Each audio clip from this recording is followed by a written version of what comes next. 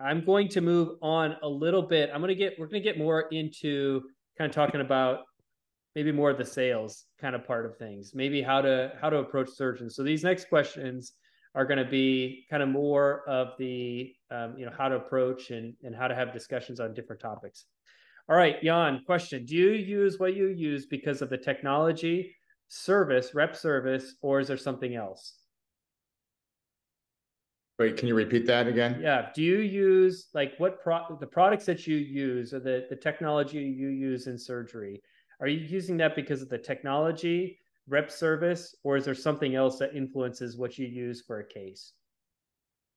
Yeah, almost all the above, uh, I would say. Uh, in terms of, I do, re, you know, especially I'm at a teaching institution, and in our today's climate, not only a teaching institution, we have a lot of travelers and so forth.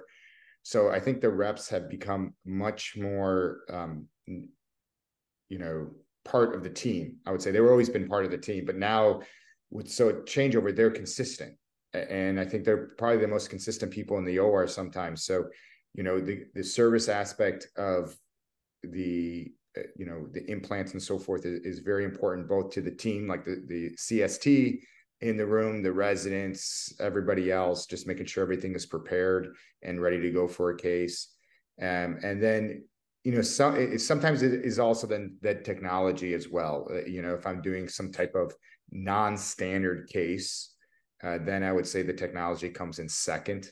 Uh, but uh, you know, if it's say if it's for example, it's an just a an it's just say a standard ankle fracture. I mean, I think then it's based on like, okay, are the reps there? Do they have the stuff ready? Um, are their trays ready? Yes. Okay. I mean, because you know, a lot of one third tubular plates from most companies are basically the same. So I think you forgot one thing that I think has influenced at least you know when you start out, and that's where you train and what you use when yeah. you train. Uh, I I think and, and, maybe you all know this, but that is a big influencer, at least for me. You know, when I first came out, and this is maybe a long story, but it, you know, I was doing some hip and knee arthroplasty, and a lot of what I chose to use was what is what you know Dr. Trousdale used, and uh, Dr. Cabanela, and uh, Dr. Taunton, and it just is what I was familiar with because I felt comfortable with that particular system uh, some of that might be rep related um, and uh, you know the su- support that we got but i think part of it was the experience you had eh, during your training as well. So that's i think that can be a big factor. Um, and then you know institution driven eh, you know what's on contract that plays a role as well. Uh, and then as jan already alluded to pricing i think is going to play more of a role. And man we haven't even gotten into uh, talking about um, the different some of the differences between you know how it, it functions at an academic facility versus your own you know privately owned ASC. That's I think those are going to have much different feels. Uh, at least that's been my experience with it. That, that's a great point in terms of training. I mean, I think that's why you see a lot of you know residency training becomes so important um, and what's on contract at some of the bigger institutions, right? Because you, like you said, the familiarity is a huge thing where um, I think later in practice, it's a little bit different, but uh, especially in the first years coming out, you develop habits and you trust uh, certain implants. You know what's how it's going to act and behave. Yeah, that you can't underestimate that. Like knowing how it's going to behave. You know, when you put this screw in at this trajectory, or it has this feel, it, it's so weird. But even just sometimes putting in something so simple as a screw, how much pressure you have to push to get the thing to engage can feel so different from one system to another. Um, it always just kind of blows my mind how how different some of those things can be, and yet they're the, basically the same thing. So uh, a lot of a lot of things that go into it, and I wish I could give you all like one silver bullet that you could use, but um, uh, I, it, it, there, unfortunately, there's multiple factors. Okay, uh, Roth had a question. Three characteristics that make a great rep. What do you guys look for? I think you touched on one, and um, uh, you know, this is what I, I've heard this question before, and this is the I think the first thing that kind of comes to mind is reliability. And then I started thinking about, you know, the people that I've maybe had the best rapport with have been with you with me in the trenches, like when things are tough and and on the weekends or at nights or things like that. Um, And then what I thought was, you know what that ultimately leads to is trust. And that is probably at the end of the day the single most important factor when it comes to working with somebody is that you trust them. And you know, a lot of this is going to sound super like soft and squishy. Okay, so I'm just warning you, but you know what I've been thinking about is even like as a physician or as a surgeon, like you know, interacting patients. I mean, we're all we're all basically in sales together, and we're not. I don't want to say make it sound like we're selling, but we're we're trying to earn trust of each other, and we're trying to earn trust of our patients, and we're trying to earn trust of the staff that we work with. And so for me, that probably is the single most important factor characteristic that I looked at that I can trust that when somebody tells me, hey, it's going to be there, I got your back, that it's going to happen. Um, Jan, any thoughts on that? No, I, I I would echo those statements. I think yeah, you, you know, if you don't have something, say it right. Just be honest about it. If there's something missing or and so forth, that comes with the trust part, uh, because I think that's hard to rebuild and you know i think it's okay if something is not there you know with the reps as long as they they tell me or tell and tell the or like hey we, we don't have this or x y or z and some of some of the best reps that i've worked with they know the competitors products and they might be like hey jan man we don't have this tonight or, or something something's missing or you know what i looked at the fracture you really need a longer plate you know the Synthes has a much longer plate than we have. You yeah. should probably, you know, they they have it in house. Uh, uh, do you want me to call the rep? Yeah. And they've said that, and that just like means the word because like they, they're part of the team then, right? They yep. They're going for the long game, not just that one sale for that case. They're then my, you know, I'm always impressed when that happens, and I've I've had it happen many times, eh, which I think is a good thing because that means, you know, even though we're on sales, we we do want to take care of the patient. Uh, as well. So I think that's a, a very good thing in quality to see. Yeah, for sure. Um, so I don't know if we got to three things, but I think that I think that summarizes things pretty well. Uh, okay, here's another question. I'm new to the industry, looking to make an impact. I'm constantly studying and learning, but my knowledge base and experience limits the value I can provide in the OR. What are some ways that I can provide value to the staff and surgeons, as well as develop a relationship of trust with the staff and surgeon? Any thoughts? Yeah. I have thoughts. Who said that? It. I mean, you gotta like write down what I want. You see me do it once, I'm gonna do it again the same way. Like I position the patient supine with a bump. You know, this this tray needs to be out, this tray needs to be out, and these clamps need to be out, whether they're your company or not, they need to be out. And if you can facilitate that in the operating room, you are my hero.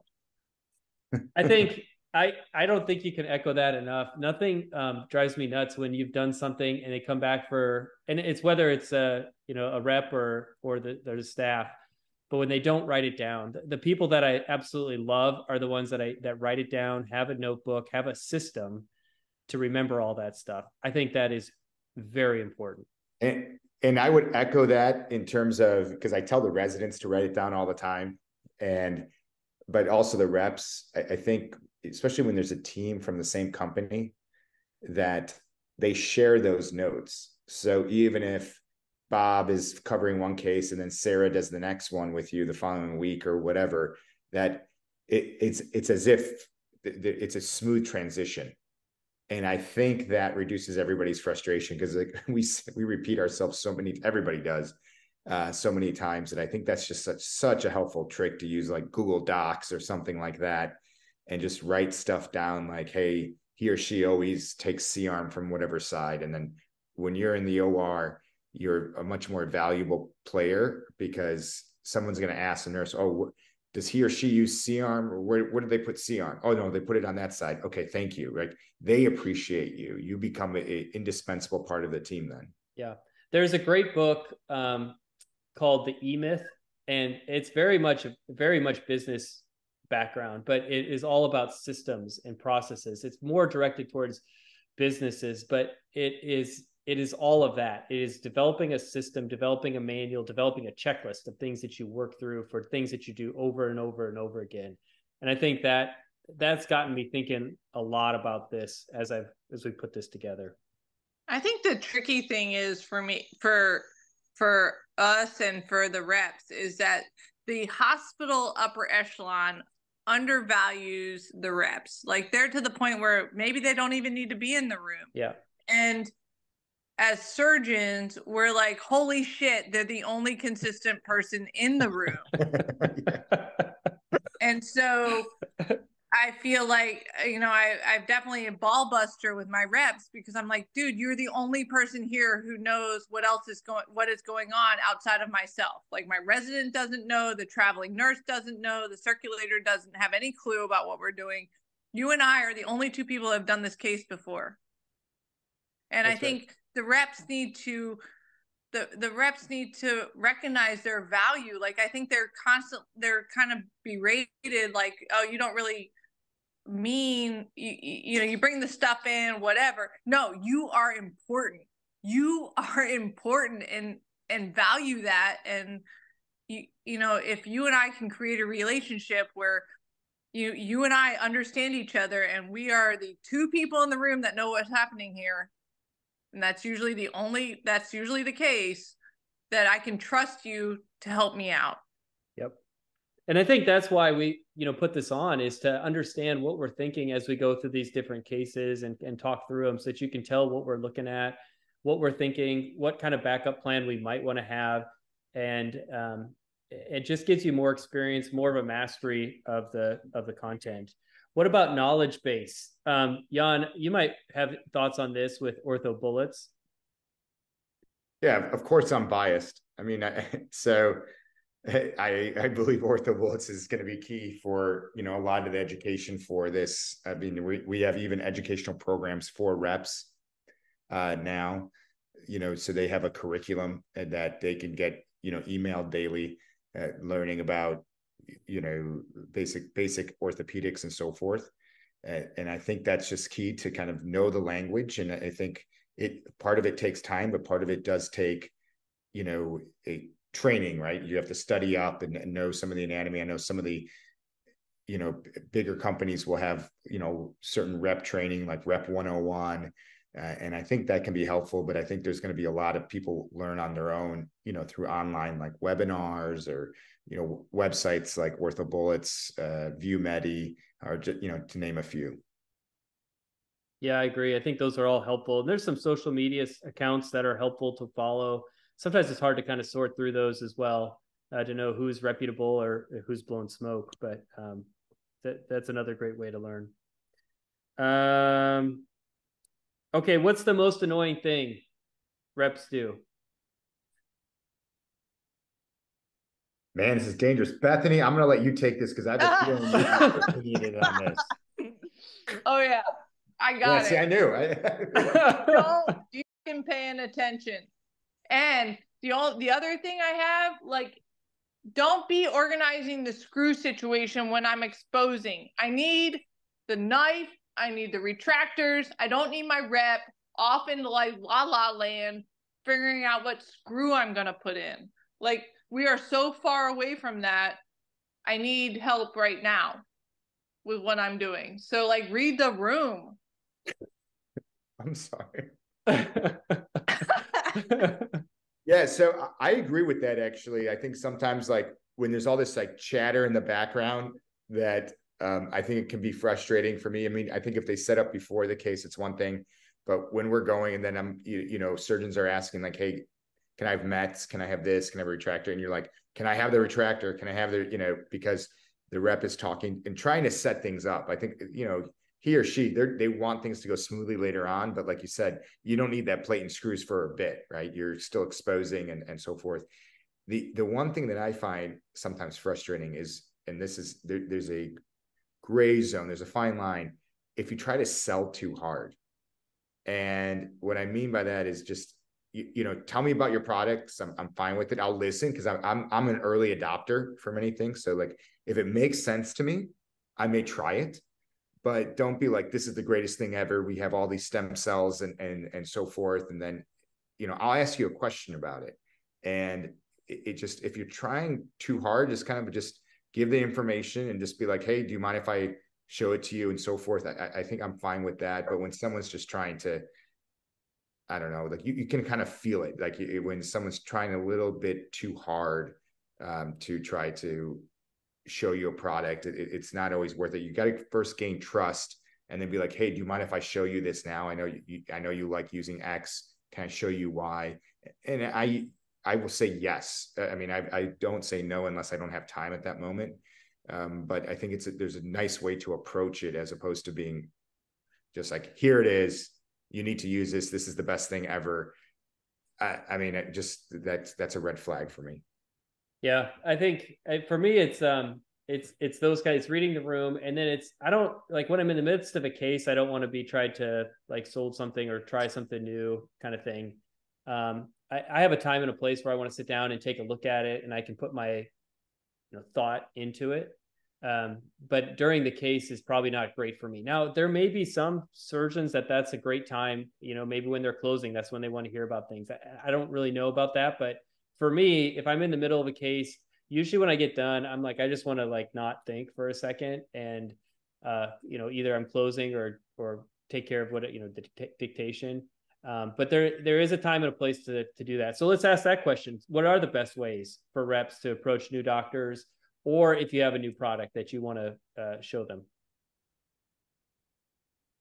Yeah, I, I think it's you know not during for me it's not during a case. I think maybe for some people it could be, but I think there's too many distractions, and I think maybe you know after the case, almost like a rep debriefing. I know that some of the reps have done that to me, and I, I've I've been you know especially if the case goes well, whatever you just did, you're in a much better mood um, overall and just be like, hey, you know, I noticed this. I'm glad it went well. Um, you know, thanks for using us today. Hey, by the way, we do have this other thing. I don't know if this is a good time to show you or not, because I'm more likely to say yes if I've just done a case and it went well. Yeah. Right. Yeah, that's, that's exactly anybody right. is right. If you just had a nice dinner, you're more willing to have a conversation about, you know, about whatever, right? Um, not necessarily with a rep. I'm just saying in general, like you, if you're in a good mood, um, you're willing to be more open to, to other things. I think for for us, like at Vanderbilt and maybe some other academic institutions, like know if your shit is even allowed. Hmm. Like if it's not allowed, I can't look at it. And if it is if it's not allowed and you want me to look at it, it better be amazing. And it better be so like different than anything else we have available and you better be able to tell me why it's so much better because I got to defend it. I got to take it to a committee. I got to go to meetings. I got to go to blah, blah, blah to get it a- approved. And I got to knock other things off the shelf because of it. So, you know, really keep that in mind because it's like Vanderbilt's really strict about it. Yeah. Yeah, they really are. Yeah. And I think more places are like that, Bethany. I, I agree. I mean, I think you know, the first question I ask, and the reps know it, I go, is it on contract? Because if it's not on contract, I still will like talk about it, but then I know like my head is going somewhere else. Is this actually a value add? If it's just another plate and screws, I'm gonna be like, man, is it ain't worth my time right now to add another plate and screws. But it's got to be something different. But if it's already on contract, my, you know, I'll be like, okay, let me see it. You know, maybe maybe it's more useful. That's right. And really know it. Like really know if it's on contract. Don't blow smoke. Like I need to cuz I don't know. It's hard I don't know if it's yeah. on contract. But and then I'll use it and you'll tell me it's on contract and then it's not and then who gets the backlash of that? You know, so really you got to know. You got to know. Um okay I had a question here that was um, top three books you'd recommend for medical device consultants to grow their career.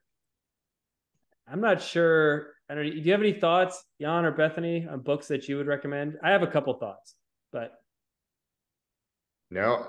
I mean, I don't know what books that would be, you know, relevant. I think some. That's why I'm saying, like, I think online resources, whether it be some of the social media accounts that go over things um, or you know obviously i'm going to say orthobullets again biased of course VuMedi not biased and don't like them but uh, you know things like that i think can be helpful uh, and i to provide some of the education and and i know some of the companies are trying to get better and, and really educate their reps i think that there's been you know they have you know education managers and so forth now uh, I think almost every major company does because they want their reps to know the product very well, and I think that has been a you know big improvement over the last few years.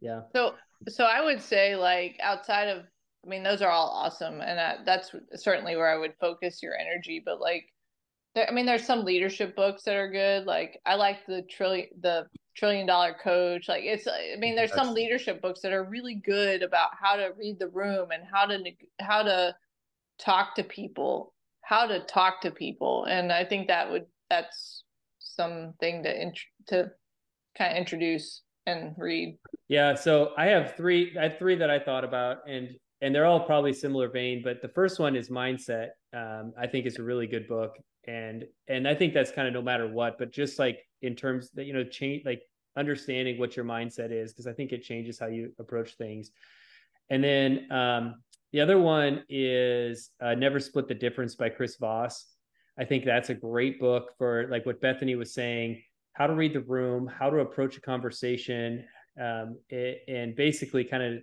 this idea of like negotiating things yeah how to win friends and influence people is kind of a, a similar vein and then the other one is the, the one I met, mentioned before, the E Myth. And just because it talks a lot about systems and processes, it's actually relatively entertaining to listen to, which could be a very dry topic. Uh, but kind of gets you thinking about some of those those systems and processes that you could set up amongst your own distributorship, uh, uh, you know, to to try to help make it seamless from when you go from one one rep to another with a different, you know, with that same surgeon, you could have a lot of those processes set up that would be pretty seamless, especially with like technology and stuff with, with pictures and that kind of stuff. Um, Zachary asked about limit the reps you have in the room and use a less confident product. Or are you okay with multiple reps in the room for different hardware options? I'll, it depends on what the case is for me. I'll, you know, I try to limit it to one particular company but um, if there's something I need from the other from another company, I'll I won't I'll use them both. Uh, Bethany or Jan, your thoughts?